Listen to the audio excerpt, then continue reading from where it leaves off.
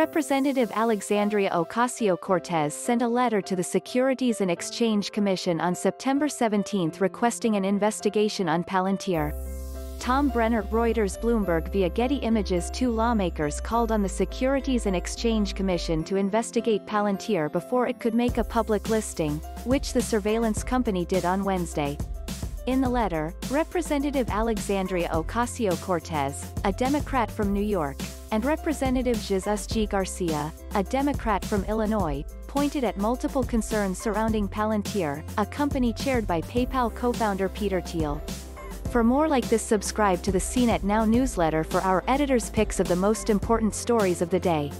The company works with government agencies and police departments across the US and in countries like Qatar, providing surveillance technology and data analytics to track and follow people, a BuzzFeed News report on Tuesday found that the Los Angeles Police Department had used Palantir for more than a decade to search for people by physical features including their scars and tattoos. Civil rights groups like Mijente have also argued against Palantir's contracts with Immigrations and Customs Enforcement, which uses the technology to coordinate arrests on immigrants. Palantir's numerous transparency and governance issues have been flying completely under the radar as they launch their public offering, Jacinta Gonzalez, a senior campaign organizer at Mijente, said in a statement. We're glad Representatives Ocasio-Cortez and Garcia tasked the SEC with investigating and are eager to find out why the agency has not done so. Palantir and the SEC didn't respond to a request for comment.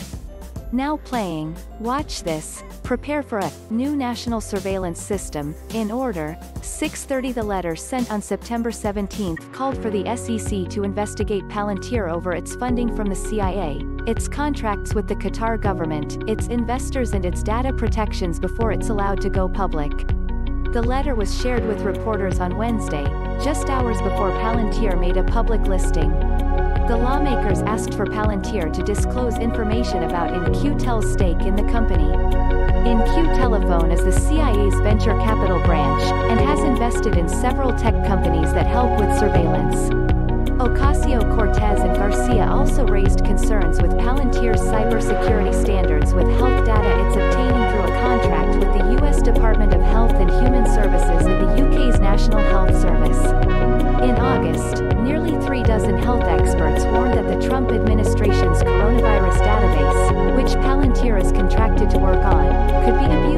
because it's being managed by a private company rather than the Centers for Disease Control and Prevention.